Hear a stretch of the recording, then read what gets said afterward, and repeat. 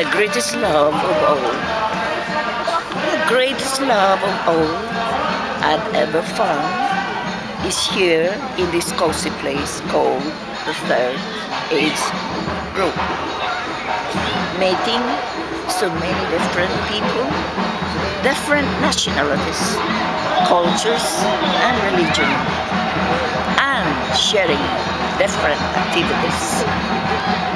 We do so many exciting things country dancing, belly dancing, Tai Chi, drama, jewelry, gym, and most especially the Purple Poets. Coming together with great pleasure, writing poems to all the seasons with our lovely Kim, our lovely teacher Kim, and all with my colleagues, and working together with respect.